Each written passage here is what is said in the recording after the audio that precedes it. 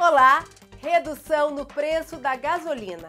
A partir de hoje, a Petrobras reduziu em 13 centavos por litro o preço da gasolina para as distribuidoras.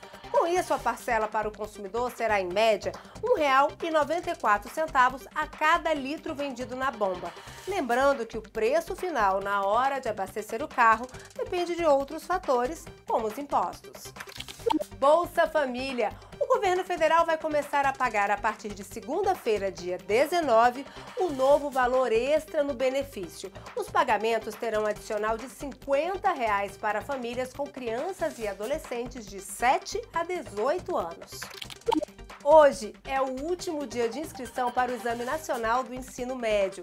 E pelas redes sociais, o presidente Lula pediu que os estudantes não deixem de fazer a prova.